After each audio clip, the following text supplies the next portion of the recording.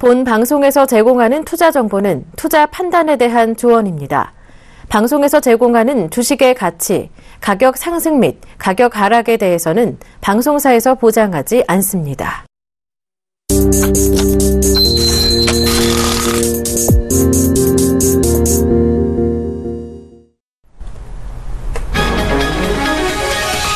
대림산업은 2,395억 원 규모의 공사 수주 계약을 체결했다고 공시했습니다. 체결 계약명은 영종 하늘도시 공동주택 신축공사입니다. 파마 리서치 프로덕트는 스웨덴 식약처로부터 유착 방지제 유럽 임상 3상 사전 승인을 받았다고 공시했습니다. 바이로메드는 HGF 이형체를 이용한 당뇨병성 신경병증의 유전자 치료에 관한 호주 특허를 취득했다고 공시했습니다. 대성 파인텍은 최근 인수합병 관련 보도에 대해서 최대 주주 등의 지분 및 경영권 매각 기사와 관련해 사실이 아니라고 공시했습니다.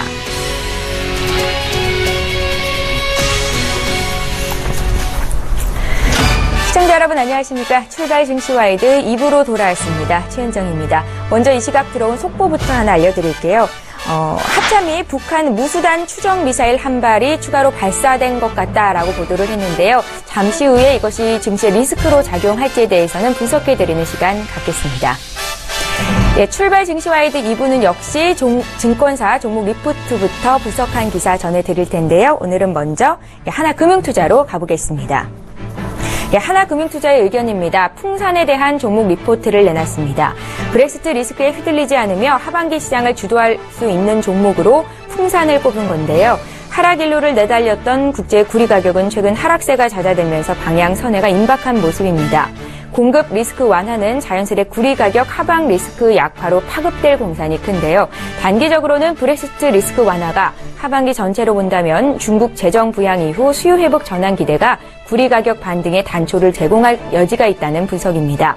실적 모멘텀 역시 빼놓을 수 없는 투자 포인트라면서 풍산에 대한 긍정적인 의견을 제시했습니다. 자, 이어서 HMC 투자증권으로 가보겠습니다. 3분기 매크로 화두는 미국 경제의 방향성이 될 전망입니다. 6월 매크로 불확실성 해소와 또 하반기 계절적 지표 개선 효과로 미국 경기가 반등할 경우 연준 스탠스로 볼 때 금리 인상 가능성이 재부각될 것으로 보입니다. 2분기는 환율 역효과를 주시해야 한다는 입장인데요. 2분기는 환율이 3.2% 급락하고 유가는 34.4% 급등한 상황입니다. 원달러 환율이 크게 하락한 분기에 어닝 시즌은 영업이익이 예상치를 크게 하락한 바 있고 증시도 대체로 부진했습니다. 외국인의 순매수 업종 비율이 낮다는 점과 또 금융 및 증권주를 매도한다는 점에서 과거 추세적인 순매수 혹은 강세장 패턴과는 다르다는 분석인데요. 실적 호전주, 경기 방어주 중심의 defensive한 포트, 포트폴리오 전략을 권고하면서 업종은 정유, 화학주가 유가 안정화 가능성이 있다고 분석했습니다. 네, 유안타 증권입니다. 브렉시트와 영국 관련 자금의 향방에 대한 분석 리포트를 내놨습니다. 브렉시트 투표 분위기가 반전됐다고 설명하고 있는데요. 영국의 EU 탈퇴를 결정짓는 투표는 23일에 실시가 되죠. 영국의 EU 잔류를 주장하던 노동당의 콕스 의원이 피살되면서 브렉시트 반대 분위기가 강해졌습니다. 브렉시트 우려가 완화하면서 글로벌 금융시장이 안정을 찾아가고 있습니다. 또한 콕스 의원 피살 이후 브렉시트 우려가 완화되면서 영국 주식 ETF로의 자금 유입이 재개되고 있는데요. 브렉시트 투표에서 반대 결과가 높게 나오면 영국계 자금의 위험 자산 투자가 늘어날 것으로 전망됩니다. 됩니다. 우리나라 외국인 수급에는 긍정적인 영향을 미칠 것이라고 판단했습니다.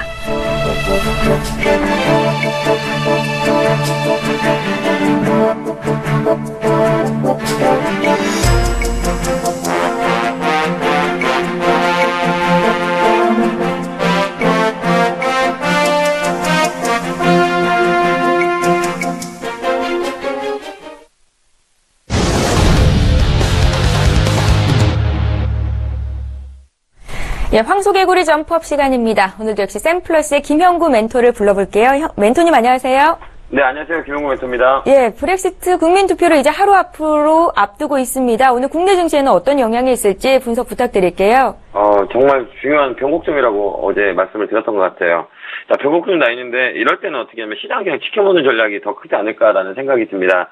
자, 시장을 이렇게 바라보면서 어느 종목이 올라갈 수 있을까? 이 악재가 아, 소멸이 되면 자, 어느 종목들 군으로 움직일까? 이쪽 포인트를 잡는 거가 더 현명한 투자 방법이라고 생각합니다. 자, 그래서 오늘 또 시장은 어, 큰 어, 이슈가 없이 그냥 건망세 눈치 보기를 할 듯해 보입니다. 미국 역시 마찬가지요. 글로벌 증시에 마찬가지입니다. 다 눈치 보기 어, 장세가 연출되고 있다 이렇게 보시면 될 것 같습니다. 이 악세도 어, 조만간 며칠 있으면 없어지지 않을까요? 자, 이렇듯 어, 시장은 항상 어, 언제 그랬냐면 다시 제자리를 찾아가는 게 주식의 원리인 것 같네요. 자, 오늘도 시장을 한번 어, 어, 들어보도록 하겠습니다. 일단 글로벌 증시 미국부터 한번 천천히 예, 보도록 하겠습니다. 자, 글로벌 증시를 항상 체크해야 되는 이유가 있습니다. 아, 우리나라는 다우의 영향을 좀 많이 받습니다. 그래서 미국 증시가 어떻게 끝났냐에 따라서 우리나라 아침에 영향을 줍니다. 자, 어제도 어, 양봉 마감을 했죠. 어, 약간 플러스 2.4%, 2.4포인트, 0.14. 자, 다우는 어, 이렇게 보면 기술적으로 보면 어, 18,000포인트까지는 열려 있다. 한 번더 try 한다라고 어, 보면 될 것 같습니다. 자, 브렉시트 악재가 해소되면 그냥 여기는 어, level up 되는 어, 구간이다. 이렇게 예, 보시면 될 것 같습니다. 자, 브렉시트 영향이 거의 안 미쳤다. 이렇게 보시면 될 것 같아요. 자, 큰 영향이 없었다. 이렇게 보면 됩니다. 만약에 큰 영향이 있을 거라고 생각했다면 어, 벌써 이런 라인이 형성되지 않았을까요? 자, 악재가 아, 크게 에, 받아들이지 않고 있다 이렇게 보시면 될 것 같아요. 자, 그다음 나스닥을 보도록 할게요. 어, 나스닥, 나스닥도 역시 어때요? 추세가 아, 살아있는 자리다 이렇게 보시면 될 것 같아요. 자, 추세 1, 2, 3. 자, 추세가 살아있는 어, 나스닥이다 이렇게 보시면 돼요. 추세대 형성됐다 이렇게 보시면 돼요. 자, 나스닥이나 코스닥이나 우리 저희 나라랑 똑같죠. 예. 아, 변동성이 큰 장세예요 이쪽은. 빨리빨리 움직이고 빨리빨리 올라가는 이런 종목들, 군들이 형성돼 있다 이렇게 보시면 돼요. 심리에 따라서 어, 많이 움직이는 어, 그런 군이다 이렇게 보시면 돼요. 자, 독일 한번 지수로 한번 보도록 할게요. 독일 이렇게 저점을 잡고 다시 양봉 마감을 했죠. 자, 만약에 악재가 해소가 된다면 아, 투표 끝나냐 아, 어, 위를 가든 아래를 가든 이쪽이 정해질 거라고 같습니다. 자, 제가 현재적으로 볼 때는 윗방향이 더 강해요. 아, 지수가 먼저 말해주고 있거든요. 자, 위로 어, 열려있다 이렇게 보시면 될 것 같아요. 한율 한번 볼게요. 한율 살짝 빠졌죠? 1150원까지 여기가 지지라인이다 이렇게 보시면 될 것 같아요. 56원? 1156원까지 열어놓자 이렇게 보시면 될 것 같아요. 자, 중국 한번 보도록 할게요. 자, 중국 어때요? 어, 저번에도 항상 얘기했듯이 이 라인은 어, 간접 투자할 수 있는 라인이 아닌가라는 생각입니다. 자, 이걸 끌어올리는 건 뭘까요? 자, 성광투인 것 같아요, 제가. 다시 레벨업이 될 거는 아, 성광투이지 않냐, 이런 생각이 해보네요.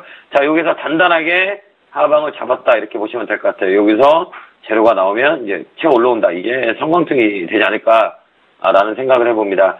자, 옥수수값 볼게요. 어, 옥수수값 어제 좀 빠졌죠?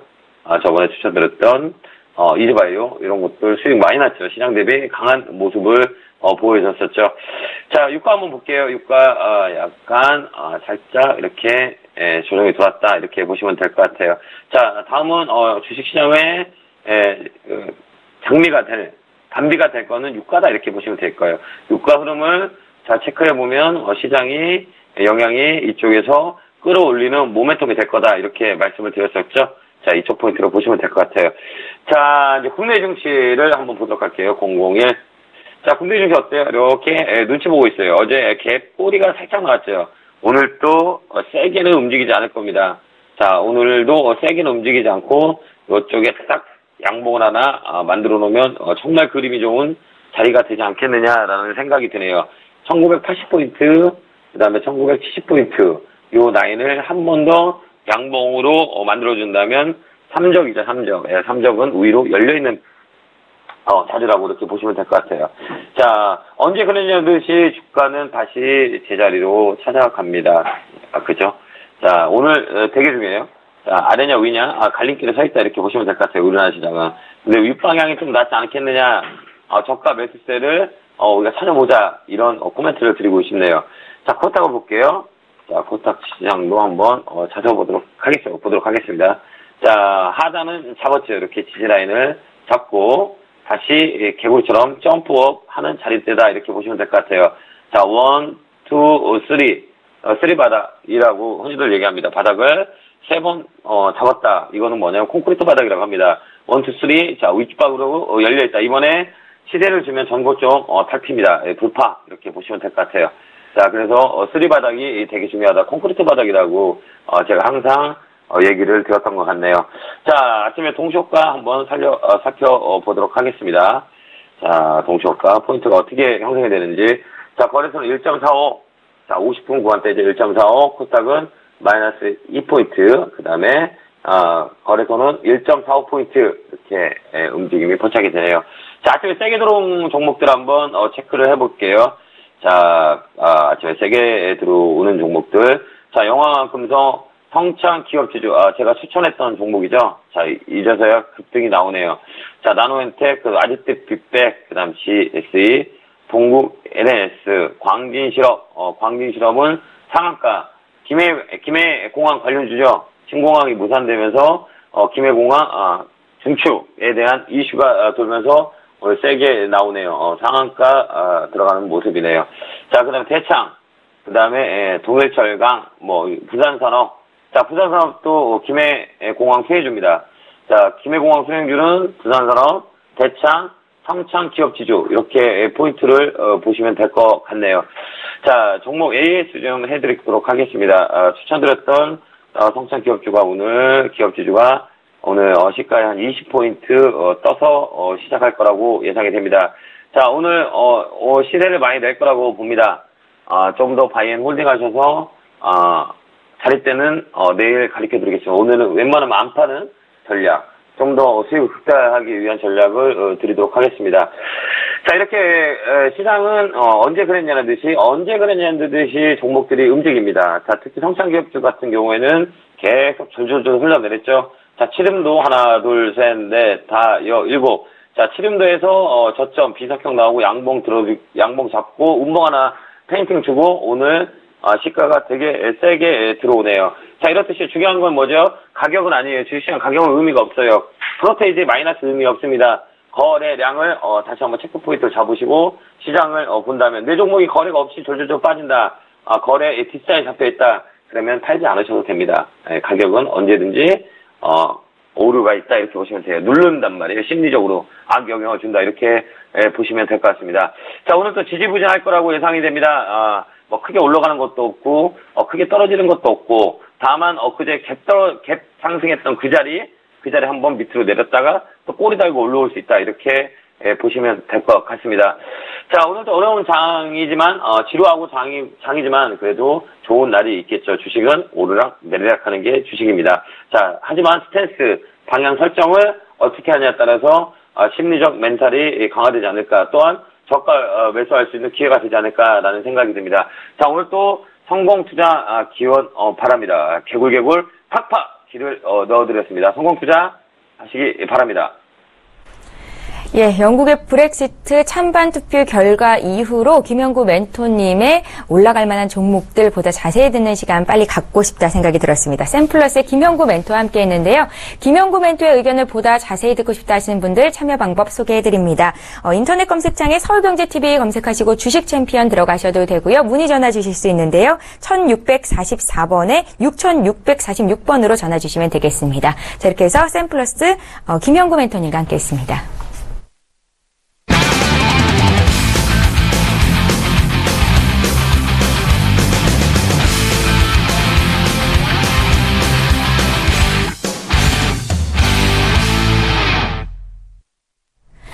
본 방송에서 제공하는 정보는 투자 판단에 대한 조언일 뿐 해당 주식의 가치와 수익률을 보장하지는 않는다는 점 참고하셨으면 좋겠습니다. 자, 지금 시각이 8시 51분입니다. 개장을 약 9분 정도 앞두고 있는데요. 이 시각 동시호가 특징주 살펴보겠습니다. 오늘도 역시 메리츠 종금증권 강남금융센터로 갑니다. 김근호 연구원 연결할게요. 안녕하세요. 네, 안녕하십니까? 예, 이 시각 동시호가 특징주 어떤 종목들이 눈에 띄시나요? 네, 먼저 키스톤 글로벌인데요. 일단 제가 몇 번 말씀드렸던 적은 있었던 것 같아요. 이게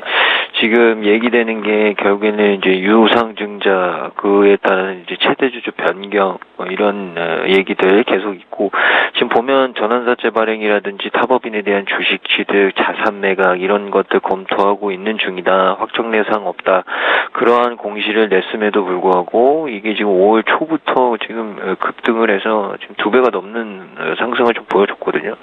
근데 중요한 게 아직까지도 거래량이 터졌을 때 대비해서는 거래량이 많이 나오지 않았어요. 그러니까 시세가 한 번 더 나올 가능성이 있을 것 같고 지금 보면 시간으로 45만 8천여 주 예상 체결가 7%인데 오늘도 아마 어제 대비해서 좀 변동성이 있을 수 있을 것 같습니다. 이런 단기 급등 종목들은 보통 이제 5일선이라든지 10일선 단기 평선을 지지선으로 좀 잡고 어, trading 하시면 되는 부분들이니까 좀 그런 부분들은 좀 참고를 하시면 된다라는 말씀을 좀 드리고 싶고요.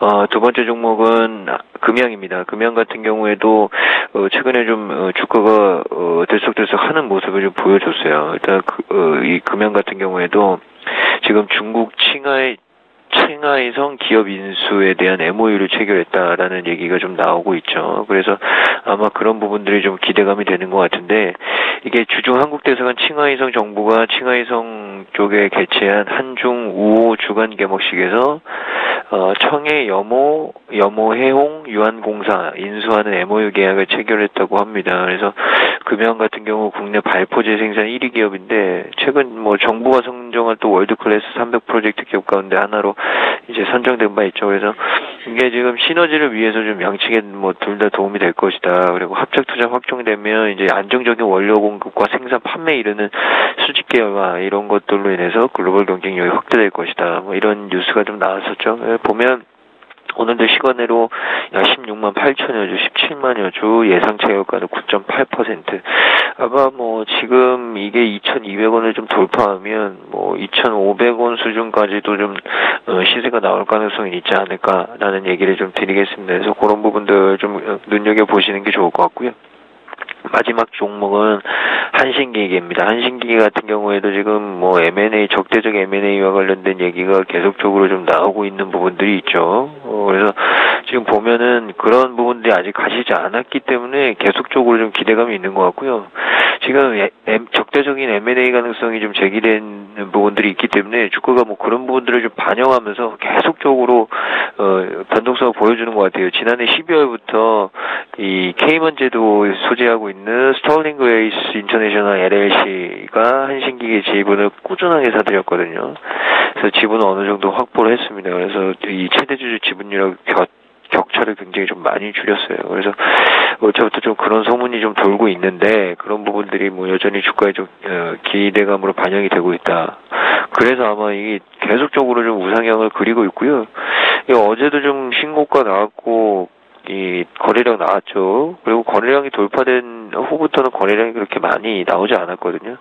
그러니까 이런 종목들은 뭐 충분히 좀 변동성이 더 있을 수 있, 있는 가능성이 있다라는 말씀드리고요. 시간으로 뭐 그렇게 많지 않습니다. 한 8만 7천 주, 8천 주 정도 되는데 예상 체결가 4%, 요 수준 정도에서 일단 고가권에서 움직일 수 있다. 그래서 이런 종목들 아까 말씀드렸듯이 5일선, 10일선 지지선 잡으시고 대응하시면 되지 않을까라는 말씀드리겠습니다. 예, 이 시각 동시호가 특징주 역시 메리츠 종금증권 강남금융센터의 김근호 연구원과 함께 들어봤습니다. 잘 들었습니다. 네, 감사합니다. 예, 이어서 오늘 장 출발 상황 분석 도와주실 두 분의 전문가부터 소개를 해드릴게요. 메가경제연구소 정윤성 소장 나오셨고요. 위즈 인베스트먼트 김형철 팀장 이렇게 두 분과 함께합니다. 안녕하세요. 네, 안녕하세요. 예, 반갑습니다. 지금 시각이 8시 55분입니다. 이제 개장을 약 5분 정도 앞두고 있는데요. 먼저 오늘 장 투자하기에 앞서서 주목해야 될 포인트부터 짚어보겠습니다. 음, 정윤성 소장님. 네, 지금 우선은 각국 간에 그런 보이지 않는 무역의 어떤 규제, 또 자국 기업들에 대한 어떤 보호 조치 이런 부분이 앞으로도 시장 내에서 계속적으로 이슈화가 될 수가 있을 것 같습니다. 지금 어 먼저 국가 간의 이런 무역 전쟁 같은 경우 환율에 대한 부분부터 지금 경쟁이 좀 심화가 됐었죠. 각 자국 간의 그런 통화에 대한 약세 이것을 통해서 수출을 이제 많이 하려고 했고 이런 부분 때문에 사실은 뭐 어떤 금리적인 부분 미국의 어떤 어 환율 전쟁의 보복 그다음에 뭐 브렉시트 이런 이슈가 사실상 다 국가 간에 먹고 살려는 그런 기본적인 부분 때문에 이루어졌다라고 볼 수가 있고요. 최근 들어서도 이제 삼성 SDI라든지 LG화학, 국내에 이제 전기차 관련된 배터리 업체들, 중국 같은 경우도 계속적으로 지금 자국 내의 배터리 업체들을, 어, 계속적으로 수주를 주고 있고요. 어, 외국 기업들한테는 뭐 공장이 최근 들어서 테슬라가 지금 어제 같은 경우는 보면 중국 기업들 중에서도 보면 상한가 갔던 종목이 테슬라와 함께해서 테슬라 공장을 짓기로 했던 그런 기업들 같은 경우는 상한가를 갔던 부분도 보여줄 수가 있었는데 이렇듯 지금 외국 기업들이 중국 내에서 직접 공장을 짓고 경제를 유발하지 않는 기업들 같은 경우 상당히 좀 어, 중국 쪽이나 이런 쪽에 들어가는 데 대해서 제재를 좀 가하는 부분도 상당히 있기 때문에 오늘 장에서도 마찬가지로 전기차 같은 경우도 어, 앞으로 이런 거에 대한 이슈가 상당히 좀 강하게 부각이 될 가능성도 있다라고 볼 수가 있고요. 그러다 본데 어, 계속적으로 가다 보면 결국에는 시장 논리도 항상 귀결이 됩니다. 그렇기 때문에 어, 오늘장 같은 경우도 각 기업들만의 자기만의 배타적인 영역이 있는 기업들 중에서도 특히 배, 어, 전기차 관련주들 중에서도 같이 급락을 하더라도 바운딩을 하는 종목도 있고 그렇지 않고 계속적으로 지지부진한 종목들이 거기서 갈린다라고 볼 수가 있기 때문에 외부적인 요인 특히나 각국 간의 자국의 기업들의 보호 조치로 인해서 과대 낙폭인 기업들 같은 경우 접근을 해야 될 가능성이 굉장히 크고요. 그렇지 않고 어, 오히려 어, 어떤 그 시장의 논리로 인해서 좀 많이 올라갔던 기업들 같은 경우는 오히려 좀 차익 매물이 나올 수 있는 그런 구간이 아닌가 싶습니다. 예. 김영철 팀장님께서는 오늘장 투자 포인트 주신다면 어디에 주시겠어요? 어, 사실 뭐 오늘장뿐만 아니라 최근 시장의 가장 중요한 포인트는 역시나 삼성전자의 강세가 어디까지 이어지느냐 이 부분들이 가장 좀 중요할 텐데요. 보시면 아시겠지만 삼성전자가 움직이는 시장에서는 개인 투자자분들이 그렇게 재미를 보지는 못하는 그런 부분들입니다. 왜냐하면은 지수는 어느 정도 좀 가둬놓고 삼성전자만 어, 끌어올린다. 결국엔 삼성전자를 올리고 다른 종목에서 차익 실현이 나오는 그런 형국이 좀 나타나는데 지금 시장이 좀 그렇지 않나 이렇게 좀 판단이 되고 있습니다. 삼성전자를 제외하고는 대형주 외에서는 이제 뭐 매수할 종목들이 많이 없다라는 부분들이고 어, 지수 같은 경우에도 삼성전자에 의한 어, 느 정도의 좀 왜곡 현상이 좀 있지 않나 이렇게 좀 판단이 됩니다. 근데 이제 삼성전자가 움직인다라고 하면은 대형주 같은 경우에는 좀 부진한 흐름들을 좀 보여주지만 코스닥 같은 경우에는 아무래도 움직임이 좀 나타날 수 있는 그런 여지는 좀 있지 않나 이렇게 좀 판단이 되는데요. 뭐 아시는 것처럼 2012년도 같은 경우에 스마트폰 한참 잘 나갈 때 스마트폰 부품주들이 상당히 좀 좋았었던 그런 부분들이 어, 나타났었죠. 근데 최근에 같은 경우에는 스마트폰 자체가 시장 파열을 그렇게 키워나가지 못하는 그런 상황에서 삼성전자 자체에서 이익률을 높여나가는 그러니까 삼성전자 안에서는 캐시카우 역할을 좀 한다라고 좀 보시면 좋을 것 같고요. 어, 그럼에도 불구하고 삼성전자를 뭐 기관이나 외국인들이 땡기는 이유는 결국에는 OLED 또는 이제 반도체 쪽에 대한 어, 성장성에 대한 프리미엄을 좀 주고 있지 않나 이렇게 좀 판단이 되고 있고요. 결국에는 그렇다라고 하면은 이 그 반도체 장비 쪽이나 아니면 OLED 쪽 관련된 어, 그런 종목들이 어, 시장에서는 좀 관심을 가질 수밖에 없지 않을까. 그리고 어, 삼성전자가 뭐 추가적으로 움직임이 나타난다라고 하면은 그런 관련된 이슈가 있는 그런 종목들이 뭐 상대적으로 좀 견조한 흐름을 보여주지 않을까 이렇게 좀 보고 있고요.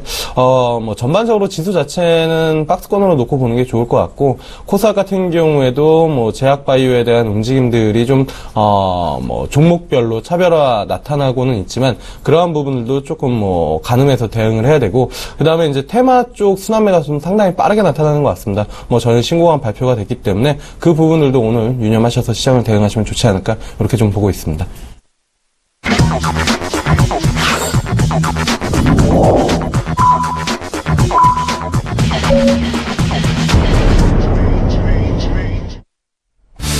예, 6월 22일 수요일 국내장 개장이 됐습니다. 앞서서 마감됐던 미국 증시는 상승세를 보였었는데요. 오늘 국내 증시 흐름은 어떨까요? 먼저 정현석 부장님께 여쭐게요. 시종 분위기 어떻습니까? 코스피부터 네. 볼게요. 예. 네, 우선 좀 뭐좀 뭐 강한 모습을 보여주고 있는데 워낙 뭐 종가 때 좀 힘이 없는 그런 모습을 보여줬었고 네. 또 삼성전자 한 종목으로 인해서 지수 전체에 대한 그런 움직임의 방향성이 좀 절대적인 그런 위치를 차지를 하고 있기 때문에 종목별 섹터를 좀 자세히 좀 보셔야 될 것 같습니다. 우선 보면 IT 쪽은 삼성전자 오늘 1% 밀리고 있죠. 그런데 장이 어 그래도 강보학권인 걸로 봐서는 다른 여타 섹터군 내에서 조금 더 무게중심이 상승 쪽으로 가고 있구나라는 것을 볼 수가 있고요. 그런 쪽을 좀 찾아보면 지금 제약 쪽이나 화장품, 어, 그 다음에 정유화학 섹터, 그다음에 자동차 쪽에서 좀 강한 모습을 보여주고 있습니다. 오늘 특히나 화장품 관련주도 강한데요. 지금 어, 에일블 CMC가 1.2%, 그다음에 아모레퍼시픽, 코스맥스, BTI 같은 경우도 강보학권에 대한 모습을 보여주고 있고요.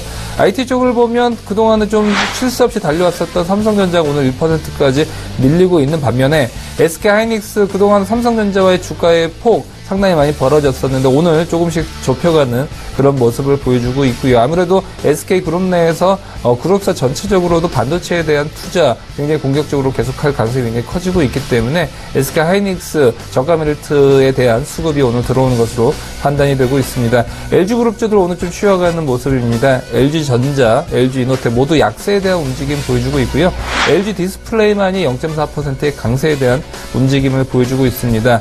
오늘 자동차주 들 그동안 현대모비스 부품 주든 잘 가고 완성차 계속적으로 못 갔던 부분을 보여주고 있는데 오늘 반대에 대한 모습을 보여주고 있고요.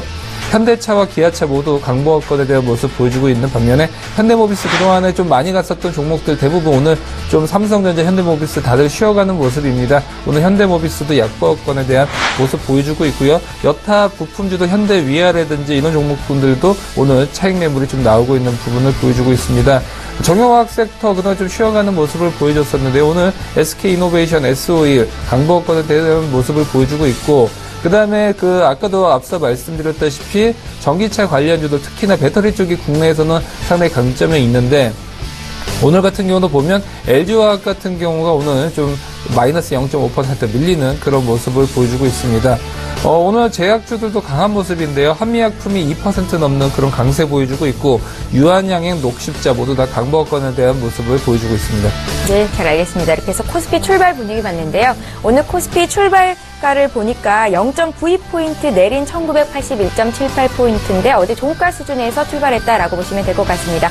코스닥은 소폭 오르면서 출발이 된 것 같은데 시장 분위기 볼게요. 김현수 팀장님. 네, 일단 뭐 코스닥 같은 경우에 말씀해 주신 것처럼 뭐 일단은 상승 출발이 이어지고 있는 그런 상황이고요. 시가총액 상위 종목들 본다라고 하면 셀트리온, 카카오 정도가 강세 움직임들을 좀 보여주고 있고 그리고 이제 뭐 한 8위 정도 9위, 10위, 코미팜, 로엔, 컴투스 정도가 강세 흐름 그리고 그 사이에 있는 종목들은 좀 어, 약보합 움직임이 좀 나타나고 있다라고 보시면 좋을 것 같습니다.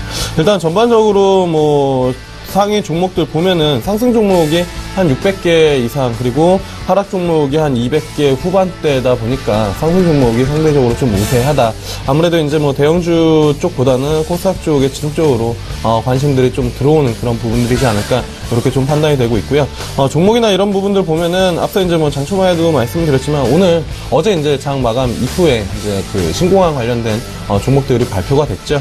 어, 결국에는 그 김해공항을 확장하는 것으로 이제 어, 결론이 나면서 뭐 사실 뭐 여러 가지 이제 이야기들이 있습니다. 뭐 정치권 관련된 이야기들은 있지만 뭐 주식시장에서만 놓고 본다라고 하면은 결국에는 가덕도도 아니고 밀양도 아니었기 때문에 관련된 종목들 뭐 지금 뭐 두얼 산업이나 세우 글로벌 이런 종목들 뭐 하한가에 들어가 있는 그런 상황이고요. 그리고 뭐 동방성기나 아니면 한국선제도 좀 조정이 나오고 있는 어, 큰 폭의 좀 조정이 나오고 있다. 이렇게 좀 보시면 좋을 것 같습니다. 근데 그 중에서 유일하게 좀 강세 움직임을 보여주고 있는 게 아마 부산 산업인데요. 부산 산업 장 초반에 상한가 들어갔다 지금 한 26% 정도 어, 움직임이 나타나고 있는데 뭐 부산 쪽에 이제 레미콘 그거를 가지고 있기 때문에 뭐 김해공항 확장을 한다라고 하면은 수혜가 예상된다라는 부분들 때문에 시장에서는 좀 긍정적으로 좀 받아들여지고는 있는 것 같습니다. 근데 어, 사실 이 관련돼 가지고 노이즈가 뭐 지속적으로 좀 나올 가능성이 좀 높기 때문에 뭐 단기적으로 오늘이나 뭐 내일 장초반까지는 좀 어, 오늘 만약에 상한가로 문을 닫고 끝나면은 내일까지는 뭐 강한 움직임을 좀 보여줄 수는 있으나 어, 쉽지는 않을 가능성이 좀 높다 이렇게 좀 보시면 좋을 것 같고요. 뭐 지난 시간에도 말씀드렸지만 결국에는 뉴스가 발표가 되면은 관련된 종목들이 이런 움직임 나올 가능성이 높다라는 거 어, 말씀을 드렸기 때문에 아마 들고 계신 분들은 많이 없지 않을까 이렇게 좀 보고 있고요. 어, 말씀해주신 대로 뭐 화장품 관련된 종목들 움직임이 좀 괜찮습니다. 어, 사실 IT 쪽에서는 삼성전자 그리고 바이오 제약 쪽에서는 한미약품이 움직 뭐 대장주고 최근에 뭐 이제 두 그 수급 아, 종목으로 수급이 좀 움직이는 모습들을 좀 보여줬는데 화장품 같은 경우에도 아모레퍼시픽에 대한 움직임이 견조하면서 오늘장에 뭐 연우나 아니면은 뭐 토니모리 이런 종목들 어, 신규 분석 보고서 좀 나오면서 긍정적인 움직임들이 좀 나타나고 있고요.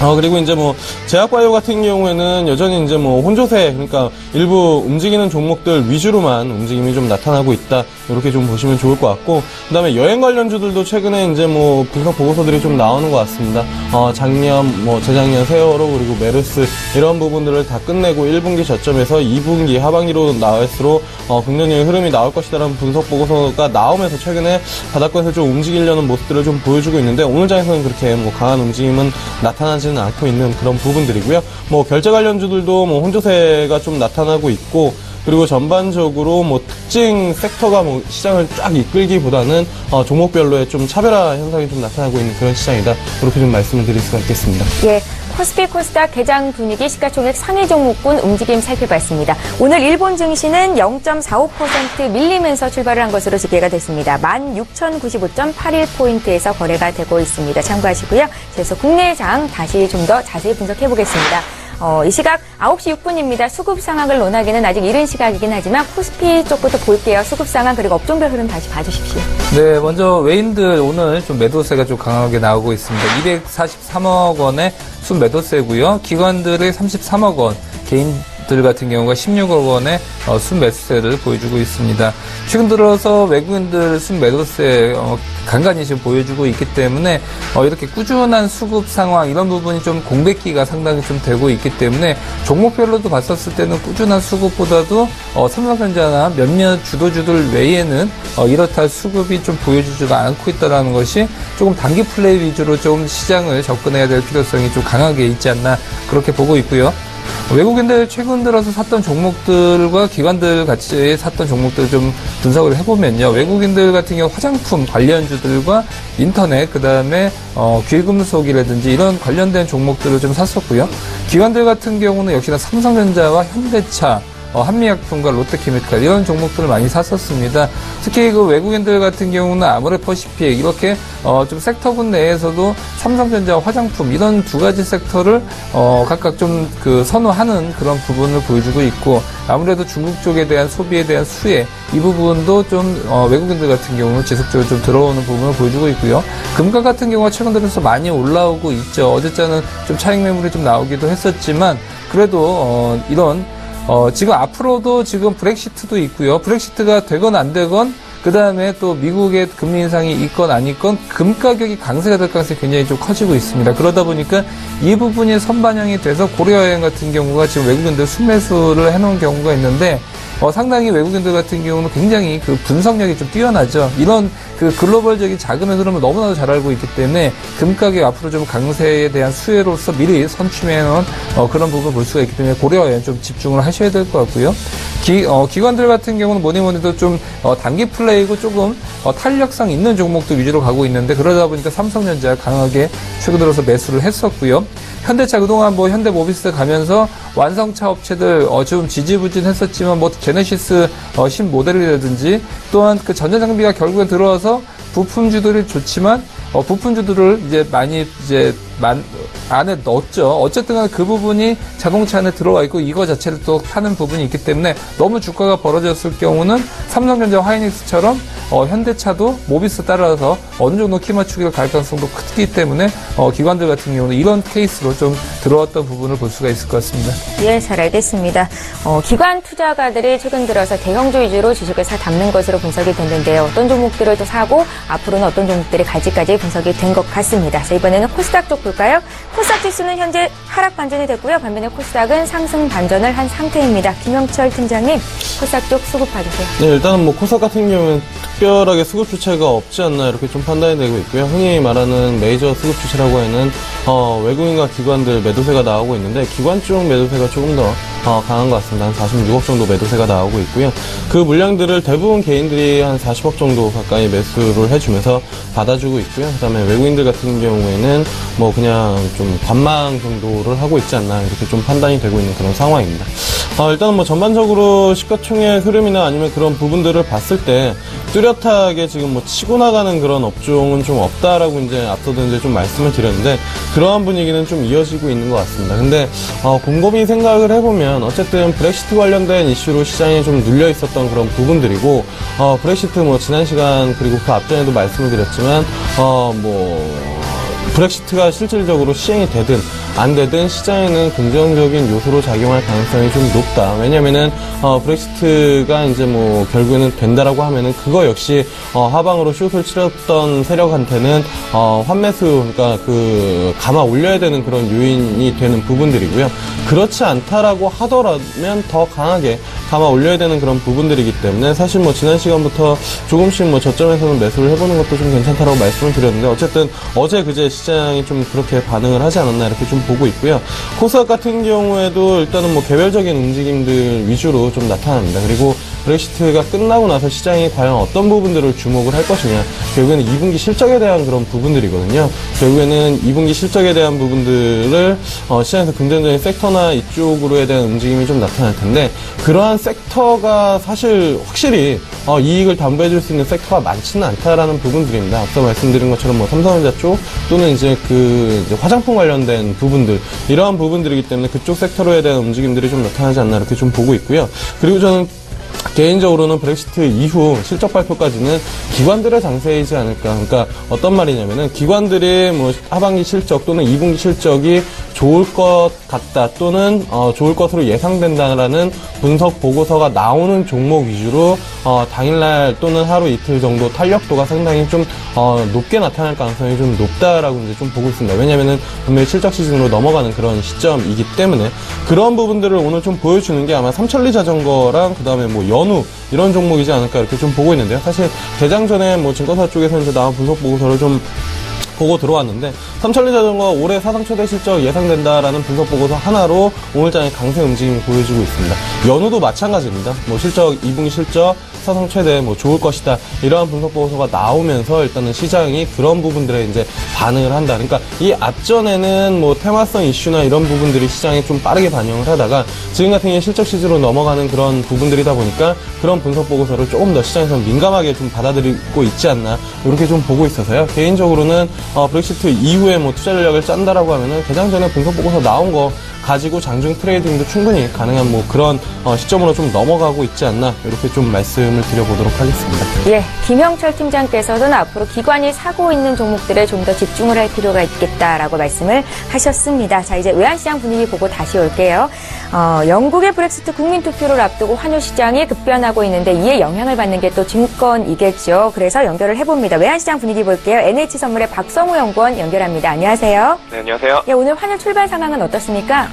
아, 네. 금일 달러원 환율은 전일 종가 대비 5원 60전 하락한 1151원에 개장했습니다. 어, 브렉시트 국민 투표가 하루 앞으로 다가온 가운데 어, 글로벌 외환시장 역시 메인 이벤트를 대기하며 제한적 흐름 이어가고 있는 모습입니다. 어, 다만 최근의 여론조사에서 탈퇴보다는 잔류적 여론이 우세한 가운데 어, 브렉시트 우려가 완화로 유럽 및 뉴욕 증시가 어제 상승 흐름 이어간 상황입니다. 한편 재닛 옐런 연준 의장 역시 전일 미국 상원의 은행 서비스위원회에 출석하여 통화정책 관련 발언이 있었는데요. 어, 여전히 조심스러운 금리 인상 인저, 금리 인상을 강조하는 어, 다소 비둘기파적인 발언을 했다는 점 역시 어, 금일 달러와 약세 요인으로 작용할 것으로 보입니다.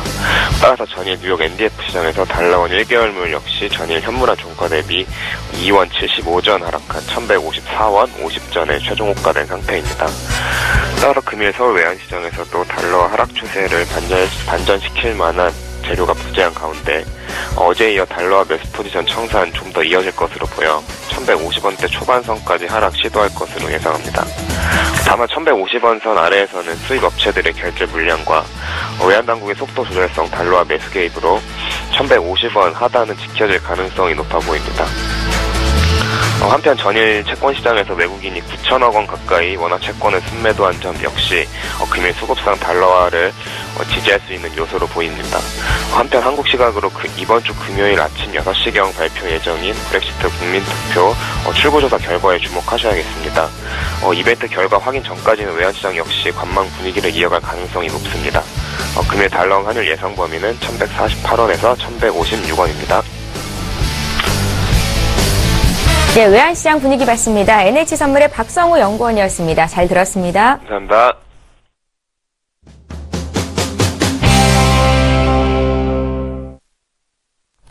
예, 개장 이슈톡 시간입니다. 먼저 오늘의 주제부터 살펴봅니다. 첫 번째 이슈부터 보겠습니다. 중국 최대 디스플레이 업체인 BOE를 비롯해서 중국 디스플레이 업체들이 대규모 투자에 나서면서 국내 장비 기업 수주 소식이 줄줄이 잇따르고 있는데요.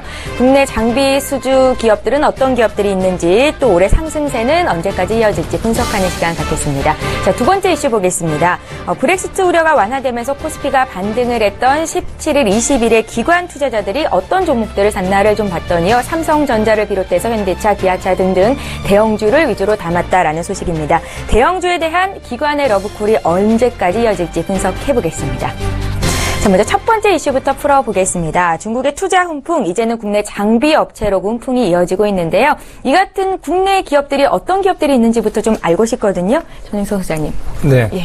우선은 뭐그 디스플레이 쪽 여러 가지 종류가 있습니다. 그중에서 LCD 또 OLED 여러 가지 부분을 볼 수가 있는데 어, LCD 같은 경우를 먼저 보겠습니다. 지금 어, LCD 쪽 같은 경우는 지금 아까 앞서 말씀하셨다시피 중국 최대의 디스플레이 업체인 BOE 같은 경우가 지금 대규모의 그 투자를 지금 나서고 있고 국내 이런 어, 장비 업체들 같은 경우도 수주에 대한 뉴스가 지금 연일 계속 되고 있는 부분을 보여주고 있고요. 최근 들어서도 지금 DMS라든지 삼성 어, 신성 S 어, 신성 F, FA, 그 다음에 아바코, 어, 탑엔지니어링, 이런 종목들 같은 경우 계속적으로 좀 수주에 대한 모습을 보여주고 있고, 이 부분이 뭐 단기적으로 끝날 부분이 아니라, 어, 최근 들어서 지금 뭐 하이마트나 이런 데 가보면 놀라운 사실은 이제 중국 기업들의 뭐 TV라든지 모니터가, 어, 지금 절반 이상이 지금 늘어났던 그런 부분을 볼 수가 있고 가격 자체도 좀 쌌던 부분을 볼 수가 있는데 그만큼 뭐 국가적인 정책 차원에서나 아니면 또 수주를 한번 줄 때 화끈하게 주죠. 그러다 보니까 장비 업체들 같은 경우도 어디까지나 시장 논리로 갈 가능성이 굉장히 크기 때문에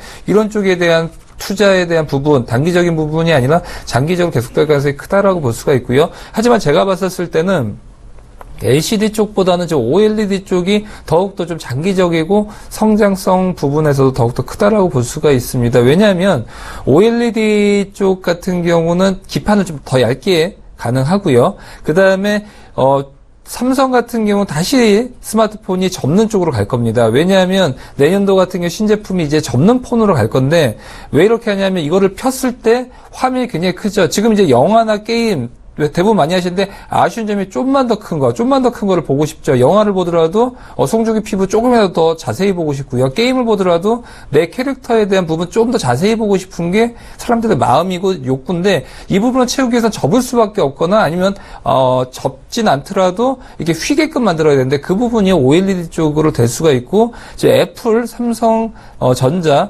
공격적으로 지금 여기에 대한 부분을 차세대 먹거리로 지금 지, 어, 지정을 했기 때문에 OLED 업체를 좀 더 자세히 보셔야 될 것 같습니다. 특히 중국으로 봤었을 때는 중국 2위 디스플레이 업체인 어, 차이나스타 같은 경우도 마찬가지고요. 국내를 봤었을 때도 LG 디스플레이 같은 경우가 여기에 대한 부분을 어, 공장을 증설을 하면서 여기에 대한 어, 관련주로서도 아바코라든지 인베니아, 그 다음에 주성 엔지니어링 같은 경우도 각각 뭐 한 500억 원대에서 뭐 200억 원대를 어, 그렇게 수주를 받고 있는 부분을 볼 수가 있고요. 어, 앞으로도 이런 관련된 종목도 계속적으로 좀 보셔야 될 것 같고 뭐 어, 한 가지 종목 같은 경우는 AP 시스템 같은 경우도 올해 같은 경우도 뭐 최대 실적, 내년도 같은 경우는 상당히 좋은 실적을 볼 수가 있는데 이렇게 OLED에 대한 투자가 늘면 늘수록 수혜주인 종목들 지금 앞서도 반도체 관련된 종목들도 보면 삼성전자가 평택 공장 증설을 하고 어, 3D 랜드 쪽에 강력하게 투자를 하다 보니까 원익 IPS라든지 원익 머티리얼즈, SK 같은 경우 SK 하이닉스단에서 SK 머티리얼즈 같은 어, 반도체 장비나 소재 이런 쪽이 강하게 올라갔던 것처럼 앞으로도 OLED 관련주도 비슷한 움직임 보일 가능성이 굉장히 커지고 있기 때문에 삼성전자는 뭐 OLED 쪽과 그다음 반도체 다 수혜라고 보기 때문에 지금 최근에 오르는 거고요. 네. 여기에 대한 수혜주로서도 계속적으로 보셔야 될 것 같습니다. 더 성장 성이 높은 OLED에 관련된 기업 중에서는 그럼 AP 시스템을 탑픽으로 꼽으시는 거예요? 네, 여러 가지 뭐 워낙 좋은 데 같은 경우는 대부분 같이 올라가는 부분을 볼 수가 있는데 그 중에서 좀 어, 타픽성이다라고 볼 수 있을 것 같습니다. 오늘 17,750원에 거래가 되는데 지금 자리 매수 가능하다고 보십니까? 네, 우선은 이 부분은 단기적인 부분도 물론 좋겠지만 장기적으로도 계속적으로 좀 우상향할 가능성이 굉장히 크다라고 볼 수가 있고요. 하지만 지금 어느 정도 좀 눌림목에 좀 와 있기 때문에 매수 타이밍으로서 좀 적절해 보이고요. 어, 그렇지만 지금 5일선은 확실히 좀 뚫어주지 못하고 있기 때문에 여기서 한 번쯤은 또 밀릴 수 있으면 더 저가 때 살 수도 있겠죠. 그렇기 때문에 현재가 한 분할 매수로 좀 접근하시면 어떨까 싶, 싶습니다. 예, 잘 알겠습니다. 중국을 비롯해서 국내에서도 디스플레이 업체의 대규모 투자 소식이 잇따르고 있는데요. 관련 수혜주들은 어떤 종목들이 있을지 분석을 해보고 있습니다. 김영철 팀장님. 예. 네, 일단은 뭐 앞서서 이제 뭐 설명을 잘 해주셨고요. 저도 이제 비슷한 의견입니다. 사실 LCD 쪽보다는 OLED 쪽으로에 대한 이제 관심을 좀 증가시켜야 되지 않을까 이렇게 좀 판단이 되고 있고요. 결국에는 삼성, 애플이 시장을 선 도하고 그쪽에서 관련된 제품군들을 만들어낸다라고 하면은 그쪽이 어, 선도하는 쪽에 관련된 어, 장비나 아니면 산업 섹터가 커질 수밖에 없는데 그게 OLED 쪽이지 않을까 이렇게 좀 판단이 되고 있고요. 어, 개인적으로는 OLED 쪽에서는 한 두 종목 정도를 좀 보고 있는 그런 상황입니다. 어, 하나는 일단은 그 영우 DSP라는 기업인데요. 어, 뭐 예전에도 삼성전자 관련된 이슈나 아니면은 종목들 이런 부분들을 봤을 때 어, 단순히 이제 vendor 하나를 삼성전자 쪽으로 치우쳐 있는 그런 기업이나 또는 애플향으로 치우쳐 있는 그런 기업들보다는 vendor 자체를 다각화, 그러니까 다양화해서 뭐 중국 쪽 local 기업으로도 납품을 하고 삼성전자 쪽으로나 또는 이제 뭐 애플 쪽 또는 LG 쪽으로 이렇게 이제 납품을 하는 기업들이 상대적으로 수주가 상당히 견조하고 그리고 실적에 대한 안정성도 어, 꾸준하게 좀 만들어 나가는 그런 부분들이었는데 뭐 개인적으로는 영우 DSP 같은 경우에는 삼성전자 쪽으로 대해 매출이 나, 어, 나오고 있는 그런 상황이고 어, 작년에 이제 뭐 대규모 투자를 했을 때 그리고 이제 뭐 중국 쪽 쪽으로도 작년 하반기에 수주 레코드가 있기 때문에 저는 개인적으로는 영우 DSP를 OLED 관련해 가지고는 뭐 top pick으로 좀 뽑아 볼 만하지 않을까 이렇게 좀 보고 있는 그런 상황이고요. 어, 그 다음에 이제 뭐 하나 정도 더 본다라고 하면은 HB 테크놀로지 같은 경우에도 최근에 뭐 주가가 상당히 이제 좀 견조하게 움직임이 나타나는 것 같습니다. 오늘 같은 경우에도 좀 한 5% 정도 움직임이 나타나는데 고점 부근이어서 어 뭐 지금 한 한 달 반, 두달 반 정도 옆으로 좀 어 좁은 박스권을 좀 만들어내고는 있지만 추세 자체가 상당히 좀 견조합니다. 그래서 뭐 두 종목 같은 경우에는 지속적으로 좀 눌림 심하다 어, 관심을 좀 가져보면 좀 좋지 않을까 이렇게 좀 말씀을 드려보도록 하겠습니다. 예. 전문가들의 의견을 들으면 새로운 종목들이 눈에 띄기 마련인데요. 또 OLED 수혜주로 영우 DSP, HB 테크놀로지까지 향후에 올라갈 가능성이 있는 종목으로 꼽아봤습니다. 어, 이번에는 계속해서 두 번째 이슈를 알아볼 텐데요. 두 번째 이슈는 증권사 의견부터 듣겠습니다. 메리츠 종금증권의 정영훈 과장님을 전화로 연결합니다. 안녕하세요. 네, 안녕하세요. 예, 지난 이틀간 기관 투자자들이 어떤 종목에 러브콜을 보냈나 조사를 좀 해봤더니요. 삼성전자, 삼성물산, SK하이닉스 등 대형주 위주였던 것 같습니다. 기관의 이 같은 대형주에 대한 러브콜이 계속해서 이어질지 증권사 의견은 어떻습니까? 네, 우선 뭐 대형주 장세가 최근에 좀 이어지고 있는 상황인데요. 아무래도 지금 전반적으로 브렉시트 이벤트를 앞두고서 아, 불확실성이 좀 커지면서 시장에서 그나마 좀 안전한 쪽이라고 할 수 있는 중소형주보다는 좀 대형주 쪽으로 아, 좀 매기가 좀 몰리지 않나 그렇게 좀 보여주고 있습니다. 아, 지금 뭐 대형주가 뭐 가장 뭐 대형주 선두주자 이제 삼성전자가 아, 지금 2분기 아, 실적이 이제 영업이익 한 8조 원 정도 수준까지 지금 나올 것으로 좀 기대가 되면서 굉장히 좀 대형주 좀 실적에 대한 좀 기대 기대감이 좀 부각이 되고 있다라고 좀 보시면 될것 같고요. 어, 그러면서 지금 전반적으로 외국인은 시장에서 팔고 있지만 아, 이제 기관이 기관이 기관이 이제 대형주들을 좀 쓸어 담으면서 이 대형주들 중심으로 해서 좀 강세 흐름이 좀 뜨고 있다라고 좀 보시면 될 것 같습니다. 아, 여기에 더불어서 뭐 최근에 지난주 같은 경우에 아, 시장에서 지금 이슈가 되고 있는 게 이제 연기금에서 좀 포트폴리오 좀 조정 가능성이 좀 제기가 되고 있는데요. 어, 인덱스 복제율을 50%그 이상으로 좀 조정한다 라는 그런 좀 이슈가 좀 나오면서 아, 대형주 좀 모멘텀이 좀 부각이 되고 있는 것으로 좀 그렇게 좀 아, 보여주고 있습니다. 결론적으로 지금 대형주의 상승은 어, 역시나 좀 시장이 좀 불확실성이 좀 큰 가운데 역시나 좀 어, 그나마 좀 안전한 쪽으로 좀 선호하는 그런 좀 기관의 또 투자 아, 동향에 따라서 지금 대형주가 좀 강세 흐름을 좀 띄고 있다라고 좀 보시면 될 것 같고요. 아, 그렇기 때문에 대형주 같은 경우에는 기관의 수급을 지속적으로 좀 체크를 하면서 좀 대응이 좀 필요한 시점이 아닌가 그렇게 좀 보고 있습니다. 예, 잘 알겠습니다. 메리츠 종금증권의 정영훈 과장님의 의견 들어봤습니다. 잘 들었습니다. 네, 고맙습니다. 예, 두 번째 이슈에 대한 두 분의 의견을 또 들어봐야 될 것 같습니다. 정윤서 소장님, 어, 네. 기관들의 대형주 러브콜에 대해서는 어떻게 판단하세요?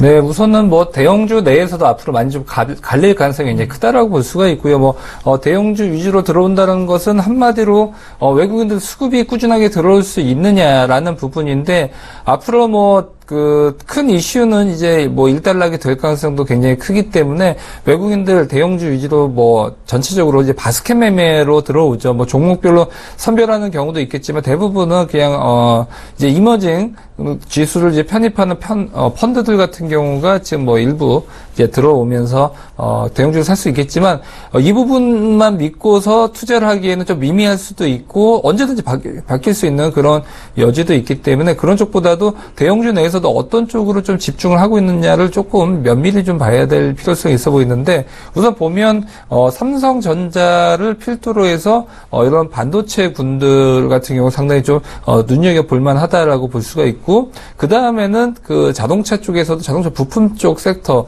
어, 상당히 좀 어, 눈여겨 봐야 된다라고 볼 수 있을 것 같습니다. 특히 삼성전자나 오늘 SK 하이닉스가 3%대의 강세에 대한 움직임 보여주고 있는데 이렇듯 이제 글로벌 플레이들을 봤었을 때는 어, 두 가지 종목을 비교를 안 할래야 안 할 수가 없죠. 예전에도 지금 보면 삼성전자와 LG전자를 예전에도 비교 많이 했었거든요. 같은 스마트폰 업체로서 주가 많이 벌어지면 LG전자 좀 못 갔었으니까 좀 올라가고 또 많이 좀 좁혀지면 삼성전자 올라갔던 부분을 볼 수가 있는데 이제는 삼성전자 그 스마트폰에 대한 비중 자체가 어, 주가에 대한 포인트는 아니기 때문에 어, 이제는 LG전자가 아니라 그 SK 하이닉스와의 그런 주가에 대한 차별화 이 부분을 보면서 트레이딩에 대한 유행이 앞으로 좀 생기지 않을까. 방송에서도 예전에도 이벤트 굉장히 많이 나왔었거든요. LG전자와 삼성전자 주가 벌어졌을 때 LG전자 사세요라는 부분이 있듯이 앞으로도 이런 두 가지 종목에 대한 주가에 대한 벌어졌을 때와 좁혀졌을 때 어, 수렴과 확산 이런 데에 따른 trading 같은 경우가 좀 유행을 하지 않을까 그렇게 생각을 하고 있고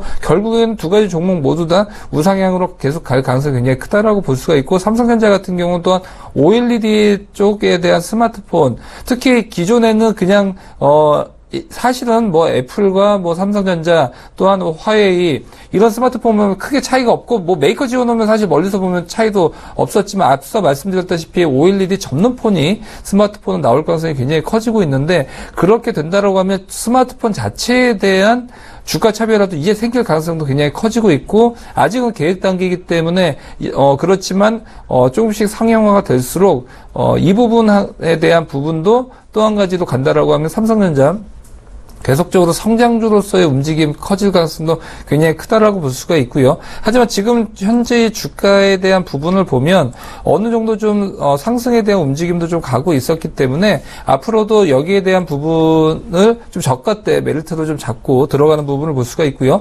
현대모비스나 만도 같은 기업들 같은 경우는 앞으로 성장주로서의 그런 부분 상당히 좀 커진다라고 볼 수가 있을 것 같고요. 또한 앞서도 고려아연 같은 종목들 말씀드렸었지만 어, 비철금속 그 다음에 특히 특히나 뭐 금 같은 경우 고려에는 원래 뭐 비철 쪽에 대해서 계속 생산을 하지만 어 여기에 대한 부산물로서 금이 계속적으로 생산이 되고 있기 때문에 금 가격을 주가 자체가 따라갈 수밖에 없는데 우선은 금 가격 같은 경우도 앞으로도 변동성에 대한 연속이 될 수가 있고 종목 찾기 굉장히 힘들다라고 하면 어 에라이 모르겠다 어 고려아연 이렇게 접근을 하는 방법도 좀 나쁘지 않을 것 같기 때문에 외국인들 이런 좀 시각 좀 많이 갖고 있지 않을까 싶습니다. 예, 잘 알겠습니다. 우리가 기관이 최근에서 대형주 위주로 담고 있다라는 이슈를 분석하는 이유 중에 하나가 그렇다면 기관이 담는 그 대형주들을 개인들도 따라가는 게 맞느냐라는 의견에 대한 전문가의 의견을 듣고 싶은 이유이기도 한데요. 김병철 팀장님의 의견 좀 여쭤볼게요. 네, 사실 뭐 기관들이 이제 뭐 종목을 산다라고 해서 어 저는 긍정적으로 판단하거나 아니면 그 안에 서 해서 종목을 찾는 것 자체는 그렇게 개인적으로는 지금 어, 유의미한 행동은 좀 아니다라고 이제 좀 보고 있거든요. 예. 어떤 부분이냐면요. 사실 뭐 지속적으로 좀 말씀을 드렸던 것 같습니다. 기관의 플레이는 어, 근 5년 동안 상당히 단순합니다. 그러니까 2천선 위쪽에서는 지속적으로 좀 매도가 나오는 그런 부분들이고 어, 1950선 밑에서부터는 매수가 좀 들어오는 그런 부분들입니다. 근데 이게 어떤 섹터나 어떤 종목을 하나 이렇게 섹터군으로 형성을 해서 쭉 끌고 가는 그런 부분들이 분명히 아니고요. 앞서 말씀해 주신 것처럼 소장님께서 말씀해 주신 것처럼 바스켓 매매로 인해서 뭐 디스플레이를 하는 그런 부분이다라고 이제 좀 보시면 좋을 것 같습니다. 그래서 뭐 기관 어, 매수한 종목들 보시면 아시겠지만 그냥 시총 상위 종목이라고 표현을 하는 게 오히려 좀 맞지 않을까 이렇게 좀 보고 있고요. 어, 뭐 지속적으로 기관들은 2000선 위쪽에서는 매도 그리고 1950선 밑에서는 매수가 들어오는 그런 형국이다. 그렇다라고 하면은 개인 투자자들은 어떻게 대응을 해야 되느냐? 어, 어, 1950선 밑에서는 어, 기관들이 들어오는 거는 좀 알겠는데 어, 떤뭐 시가총액 상위 종목들 사는 것도 알겠는데 어, 떻게 그거를 매수를 해야 되느냐. 결국에는 그 부분들을 따라할 수 있는 것은 어, 기관처럼 바스켓을 운영을 못하면은 그러니까 바스켓을 운영을 한다는 게 코스피 시총 상위 뭐 200개 종목에 한 주씩을 동시에 이렇게 뭐 적절한 비중을 맞춰가지고 매수를 하는 건데 그게 현실적으로는 개인 투자자들이 어렵습니다. 그럼 결론은 결국에는 레버리지랑 인버스 ETF 두 가지를 활용하는 방법밖에 없지 않나 이렇게 좀 보고 있고요. 뭐 지난 시간 지난주 금요일에도 말씀을 드렸지만 1900 원더부터는 어, 레버리지 분할 매수를 해도 된다라고 이제 좀 말씀을 드렸습니다. 왜냐면은 언더 쪽으로 내려가면 당연히 기관이 매수가 들어올 가능성이 높았고 그게 이제 뭐 지난 한 5년 정도 지속적으로 그런 플레이를 해왔기 때문에 말씀을 드렸었던 부분들인데 뭐 결국에는 1950선 찍고 하회를 하자마자 매수가 좀 들어오는 그런 모습들을 좀 보여줬습니다. 그리고 이 부분들이 어디까지 이어질 것이냐라고 뭐, 뭐 추가적으로 상승을 해서 다음 시간 주제가 돼도 똑같이 말씀을 드릴 것 같습니다. 2천선 위쪽에서부터는 뭐 지속적으로 좀 차익 실현을 하는 부분들이 맞지 않나. 정말로 좁은 박스 권입니다. 2050이랑 2000선 거기에서 이제 대외적으로 이벤트들이 발생이 되면은 어, 추가적으로 1950선을 하회를 하면서 1900선, 1800선까지 내려가는 그런 모습들이고 뭐 해외 이슈들이 있어서 상당히 뭐 시장 분위기가 상당히 좀 좋다 하더라도 2000선, 2050선, 2100선 이 부분들에 대한 지속적인 허들이 있기 때문에 이 부분들을 넘기기는 쉽지는 않다. 그럼 결국에는 이 부분을 어떻게 넘겨야 되냐? 기업 이익이 상당히 좋아지거나 아니면 정말로 주도주가 나와야 된다. 주도주 없이는 이 시장을 뭐 지수 박스권 레벨을 넘길 수 있는 부분들은 분명히 아니다라고 이제 좀 볼 수가 있겠고요. 그래서 결국에는 뭐 지수 플레이 하시는 분들 같은 경우에는 선물이나 아니면 옵션 그런 부분들도 있지만 어, 레버리지 ETF랑 inverse ETF를 가지고 2000선 위쪽으로 2050선 그리고 아래쪽으로 1950선, 1900선 이렇게 놓고 대응을 하시는 것도 상당히 좀 유효한 투자 전략이 되지 않을까 이렇게 좀 말씀을 드려보도록 하겠습니다. 네, 알겠습니다. 대장 이슈톡 두 분의 전문가 의견 들어봤고요. 잠시 뒤에 오늘장 특징주 짚어보는 시간 갖겠습니다.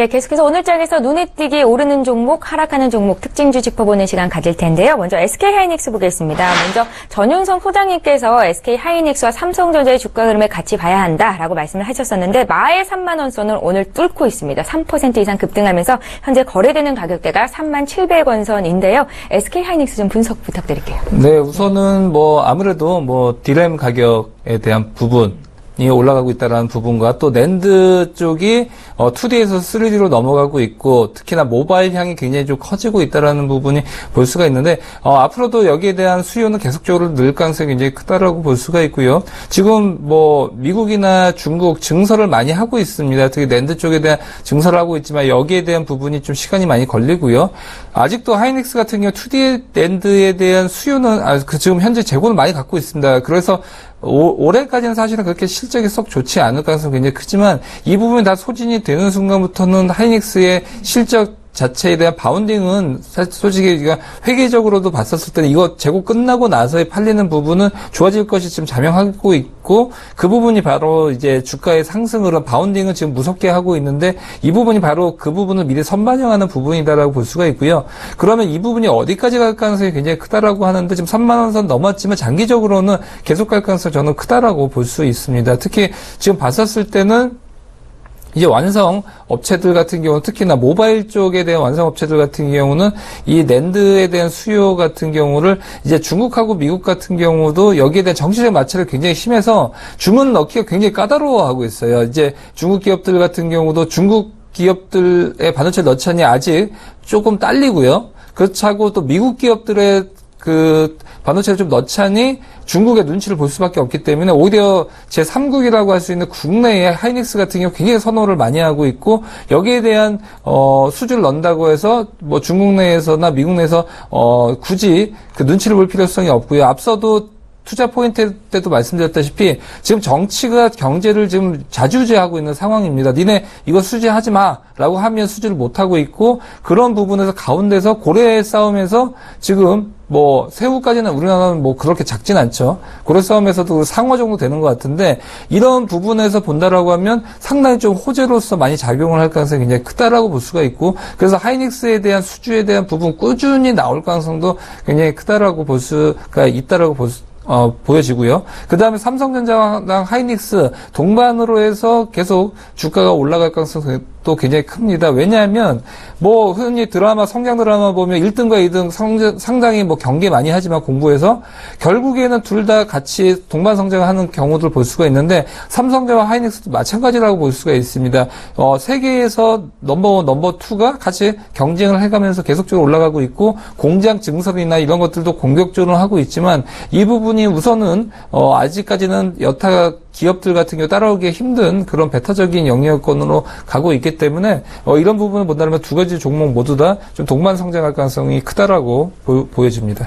근데 이제 삼성전자 같은 경우에는 장중에 52주 신고가를 경신하는 움직임을 보이는데 SK 하이닉스는 약간은 부진했었잖아요. 네. 어, 삼성전자 정도의 상승세를 쫓아간다면 SK 하이닉스는 목표가를 어느 정도 설정을 보면 좋을까요? 네, 우선은 SK 하이닉스 같은 경우 지금 보면 네. 어, 지금 3만 700원이긴 하지만 실적이 우선 썩 좋지 않다라고 했죠. 올해 실적으로 보면 어, PER로 봤었을 때 한 12배는 넘거든요. 삼성전자가 지금 거기까지 밸류를 안 주고 있는데도 음. 하이닉스가 이미 주가는 조금 올랐죠. 그런데 차트 봤었을 때 굉장히 싸 보이지 않습니까? 이게 보면 실적과 차트를 분리해서 보시기 때문에 그런데 사실은 실적 대비해서 현재 주가는 어느 정도 적정선을 찾았다라고 볼 수는 있고요. 그렇지만 이제 내년도와 내후년도의 실적을 보면 지금 저평가 영역이고 이거를 내년과 내후년도의 실적을 지금 반영을 해주면 여기서 더 오를 수가 있고요. 네. 그거를 반영 안 했을 때는 적정 수준이다라고 볼 수는 있는데 앞으로 내후년 내년까지도 여기에 대한 트렌드는 계속 이어지고 있기 때문에 어, 여기에 주가를 반영을 해줘야 됩니다. 그렇기 때문에 지금 봤었을 때는 한, 어, 단기적으로는 한 3만 3천 원대까지는 좀 무난하게 갈 가능성도 굉장히 크고요. 하지만 지금 삼성전자와 지금 보이지 않는 그런 주가에 대한 그런 부분을 보여주고 있다고 했죠. 여기 샀다, 여기 샀다. 이제 trading을 하는 그런 수급 주체도 많이 늘 가능성도 굉장히 크기 때문에 수급 적으로 좀 밀렸을 때 들어가는 전략이 어, 조금 더 그런 부분 좀 좋지 않을까 싶습니다. 예, 잘 알겠습니다. SK 하이닉스에 대한 김영철 팀장님의 의견도 전윤성 소장님 과 같은지 좀 여쭤볼게요. 어, 일단은 뭐 저는 SK 하이닉스는 어느 정도 좀 박스권으로 보고 있다라고 이제 좀 보고 있는 그런 상황이거든요. 예. 사실 이제 뭐 실적에 대한 부분들 말씀을 해 주셨는데 올해 실적만 놓고 본다라고 하면은 적정 수준입니다. 사실 3만 원 언더를 아니 3만 원 이상을 강하게 주기는 좀 어려운 그런 종목이다라고 이제 좀 보고 있는데요. 뭐 선장님께서 전제 조건을 말씀해 주신 것처럼 내년 내후년에 대한 부분들을 본다라고 하면은 지금부터는 뭐 매수를 해볼 수 그러니까 길게 보시는 투자자분들 같은 경우에 매수를 해볼 수는 있겠지만 어, 저는 개인적으로는 지금 현 실적 올해 실적만 놓고 본다라고 하면은 어, SK 하이닉스의 뭔가 획기적인 변화가 어, 나타나지 않는다라고 하면은 어, 3만 원 위쪽에서는 차익 실현 그리고 3만 원 under 쪽에서는 기계적으로 분할 매수를 하는 어, trading 전략이 좀 유효하지 않을까 이렇게 좀 판단이 되고 있고요. 뭐 지난번에도 한번 SK 하이닉스 이야기를 할 때 3만 원 정도는 한번 돌파할 가능성이 좀 높다. 근데 3만 원 위쪽에서는 차익 실현을 좀 하는 부분들이 좀 어, 좋지 않을까. 그러니까 박스권으로 대응해 놓고 어, 잡아놓고 보는 게 좋지 않을까 이렇게 말씀을 드렸는데 그 전략에 대해서는 뭐 크게 변함은 없습니다. 오늘 3만 원대 안착을 해서 추가적으로 뭐 하루 이틀 상승을 하더라도 뭐 맥시멈 한 3만 2천 원 정도까지밖에 어, 저는 상승 여력이 많지는 않다라고 이제 좀 보고 있거든요. 근데 여기서 한 3만 원대에서 한 뭐한 7% 정도, 어, 6% 정도 어, 추가적으로 수익을 내기 위해서 어, 이 시점에서 들어가는 것보다는 차라리 마음 편하게 3만 원 언더부터 어, 뭐한 2만 9천 원, 2만 8천 원 부분부터 뭐 분할로 접근을 하는 게 조금 더 유효하지 않을까 이렇게 좀 말씀을 드려보도록 하겠습니다. 네, 장기적인 투자 전략을 짰을 때 SK 하이닉스 지금 조금씩 매수는 가능하겠지만 실적을 반영하면 지금 가격대가 그렇게 낮은 가격대는 아니다라는 김영철 팀장님의 의견까지 들어봤습니다. 다음 특징주 하나 좀 볼게요. 미국 교통부 산하 연방 항공 상공청이 상업용 드론의 운행 규정을 확정했다라는 소식이 전해졌는데 이 같은 수혜를 받을 기업으로 오늘 JC현이 강세를 보이고 있습니다. 이 종목에 대해서 JC현 시스템이라고 어, 상장이 돼 있죠. 이 종목에 대해서 전용수 소장님의 의견 좀 여쭤볼게요. 네, 우선은 뭐 드론 쪽 지금 우선은 뭐 앞으로도 많이 적용이 될 겁니다. 음. 어, 실생활로 봤었을 때는 어, 뭐 지금 뭐 1박 2일 같은 트러, 저기 어디 뭐 여행 가는 프로그램 보면 공중에서 상당히 많이 찍죠. 그 다 드론을 촬영팀 같은 경우는 이제 뭐 보통 열대서 열대 정도 내외 정도 갖고 다니면서 그것을 이제 위에서 찍고요. 지금 뭐 아마존 같은 경우가 드론 택배를 가는데 어 이 부분이 앞으로 인건비가 미국 같은 경우 굉장히 올라가 있죠. 지금 뭐 1인당 4만 달러 시대니까 어 연봉이 보면 지금 무슨 4천만 원 선. 본다라고 보면 드론이 이제 상용화 될 가능성은 이제 연봉이 올라가면 올라갈수록 더욱더 매력도가 커질 수가 있고 또한 이 부분이 또 더욱더 어, 뭐 카메라도 이제 장착을 하고 있기 때문에 카메라 모듈 시장과 드론 시장 같이 좀 동반 성장할 가능성 굉장히 크고 어, 이 부분에 대한 어, 부분 바로 뭐 실적이 뭐 동반이 될 가능성 굉장히 뭐 작지만 앞으로 뭐 성장 동력이 굉장히 큰 산업이다라는 부분은 뭐 누구나 부인할 수는 없을 것 같고요. 그렇지만 제이시언이 과연 여기에 대한 수혜를 받을 것이냐라는 부분부터는 조금 얘기가 달라질 수가 있는데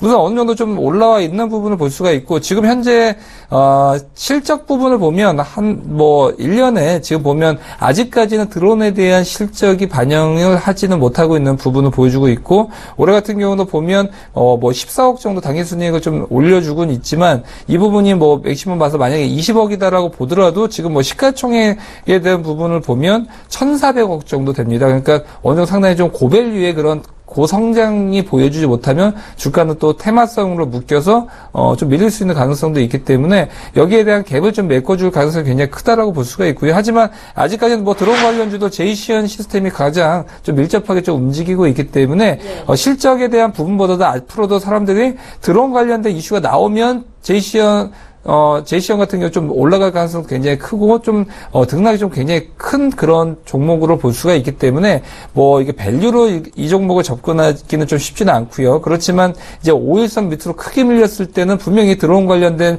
이슈, 특히 정부 쪽에서 미국도 오늘 이슈가 나와서 급등을 했던 부분을 보여줄 수가 있지만 사실 국내에서도 지금 택배라든지 이런 부분, 어, 규제를 계속적으로 풀어주는 것이 바로, 어, 제약주들 그때 줄기세포라든지 그런 부분이 있었고요.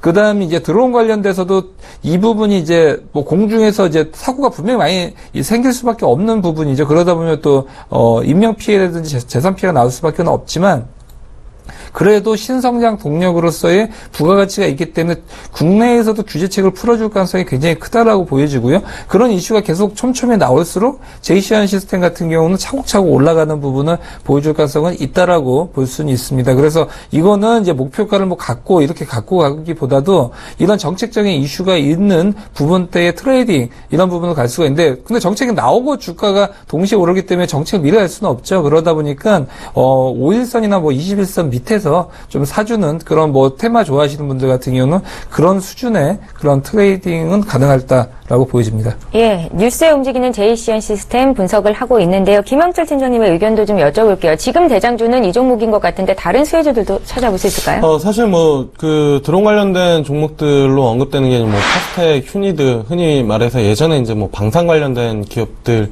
뭐 통신이나 아니면 이런 부분들을 같이 담당하는 그런 기업들이 수혜주로 좀 언급이 되는 그런 부분들인데요. 뭐 소장님께서 말씀해 주셨지만 사실 시장에서 대장은 제이시언 시스템인 것 같습니다. 그러니까 어떤 뉴스가 나왔을 때 직관적으로 사람들 머릿속에 떠오르는 것 자체가 어 드론 그렇다라고 하면 오늘 제이시언 시스템 주가 한번 검색해 볼까 이런 식의 지금 그 뭐 연산 작용이 어 대부분의 투자자들에서 나타나고 있는 그런 부분들이고 드론 관련된 이슈나 아니면 뭐 관련된 뭐 발생 뭐 이슈들이 발생이 되면 제일 먼저 제이시언 시스템이 시장을 이끌고 있지 않나 이렇게 좀 보고 있습니다. 사실 실적과는 무관하게 뭐 그런 뉴스들을 좀 반영을 한다라는 부분들로 좀 해석을 하시면 좋을 것 같고요.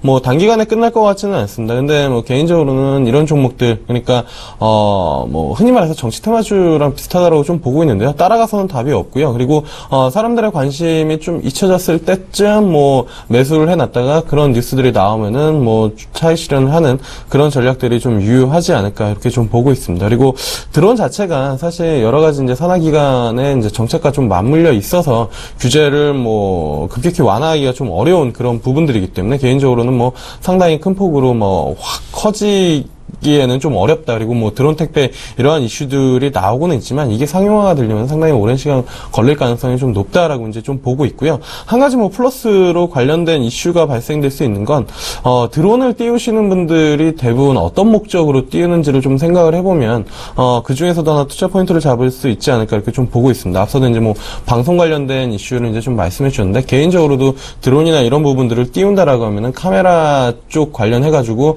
뭐 재밌는 영상, 그러니까 아름다운 영상이나 이런 부분들을 찍어서 소장을 하거나 이런 부분들이거든요. 사실 그렇지 않다라고 하면은 그냥 경비행기나 조종기를 날리는 거랑 거의 비슷한 부분들인데 그 영상들을 내가 소장을 할 수가 있고 그런 부분들을 찍을 수 있다라는 점에서 뭐 그쪽으로 뭐 고화소 카메라들이나 아니면 카메라 모듈 이런 부분들은 뭐 수혜를 좀 뭐 받을 가능성도 좀 있지 않을까. 뭐 관련주로는 사실 움직임은 그렇게 많이 나타나지는 않고 있습니다. 근데 어, 세코닉스 같은 경우가 그런 부분들에 대한 모멘텀을 어, 조금씩은 뭐 가져갈 수 있지 않을까 이렇게 좀 보고 있어서 제이씨현시스템 뭐 대장주로 가지 어 뭐 묶어 두시고요. 그리고 퍼스텍 휴니드 시장에서 이미 알고 있는 드론 관련주 거기서 플러스로 뭐 세코닉스 정도도 같이 포함시켜 놓아서 보시는 것도 괜찮지 않을까 이렇게 좀 말씀을 드려보도록 하겠습니다. 예, 잘 알겠습니다. 뉴스에 팔아라라는 소식이 음, 그 격언 증시 격언이 있는데요. 지금 시점에서 뉴스를 듣고 이제 사야 되나라고 생각하는 건 좀 무리가 있겠다라는 의견까지 들어봤습니다. 오늘 업종별로 가장 마르는 많이 오르는 업종이 뭔가 이렇게 좀 살펴보면요. 조선주가 굉장히 강하다는 느낌을 여실히 줍니다. 삼성중공업은 4%나 오르고요. 현대중공업도 그 뒤를 바짝 쫓고 있는데요. 오늘 조선주 이 같은 강세에 외국인들의 매수세가 유입이 되는 것으로 분석이 되기는 합니다만 전윤소 소장님 어떻게 추세 상승으로 이어갈 수 있을까요? 네, 우선은 좀 어, 외국인들 입장에서 좀 저가 메리트로 음. 좀 보고 있고요. 예. 올해 같은 경우도 지금 조선주 주들 뭐 워낙 뭐 이슈도 많이 있고 스캔들도 많이 있기 때문에 어, 되고 있지만 그만큼 주가는 충분히 빠져줬다라는 부분 이 부분이 또 팩트가 아닌가 싶고요. 거기다 유가가 굉장히 중요합니다. 유가가 좀 많이 올라가면 올라갈수록 조선주들 당연히 여기서 bounding에 대한 부분을 볼 수가 있는데 지금 50불 40불 내 박스권을 보고 있고 캐나다 같은 경우도 다음 달 같은 경우는 어, 느 정도 좀 어, 유가의 생산이 회복이 되기 때문에 당분간 여기에 대한 부분은 계속될 가능성도 굉장히 크다라고 볼 수 있기 때문에 조금 일시적인 반등세일 가능성이 굉장히 크고요. 유가가 만약 50대를 50불대를 뚫어준다라 고 보면 그때부터 조선주들 계속적으로 저가 때 매수는 유효하다라고 볼 수 있을 것 같습니다. 예, 잘 알겠습니다. 다음 이 시간에도 조선주가 강세라면 그때는 김영철 팀장님의 의견도 좀 여쭤보겠습니다. 예, 이렇게 해서 오늘 어, 출발 뉴스 와이드는 여기서 마쳐야 할 것 같습니다. 메가경제연구소의 정윤성 소장님 그리고 위즈인베스트먼트 김영철 팀장님 이렇게 두 분과 함께 있습니다. 잘 들었습니다. 예, 감사합니다. 감사합니다. 예, 영국의 브렉시트 국민투표 여부가 이제 한 하루 앞으로 다가왔습니다. 폭풍 전야라는 말이 있지요. 오늘 코스피 코스닥은 상승 반전에서 오름세를 이어가고 있기는 하지만 관망 심리는 짙습니다. 끝까지 상황 잘 보시고요. 현명하게 투자하십시오. 저희는 내일 이 시간에 다시 오겠습니다. 고맙습니다.